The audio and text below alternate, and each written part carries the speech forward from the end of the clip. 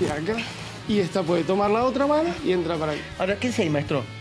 Si él hace un movimiento mínimo, me explota el hombro, el codo o la muñeca, ¿correcto? Pero no vamos a hacer nada de eso. No. Vamos a bajarlo despacio Ay, ay, ay, y la persona puede bajar ahí. Bien. O puede entrar del otro lado acá y va tomando otras técnicas. Tírelo, tírelo, tírelo. No, no me tires, no me tires. No. Eh, Yo decía acá. Ahí. Y ahí ya se puede entrar acá, por ejemplo. bien, bien, bien, bien, bien, bien. Es más, la puedo agarrar también. A ver. Que entra acá y está. ¿no?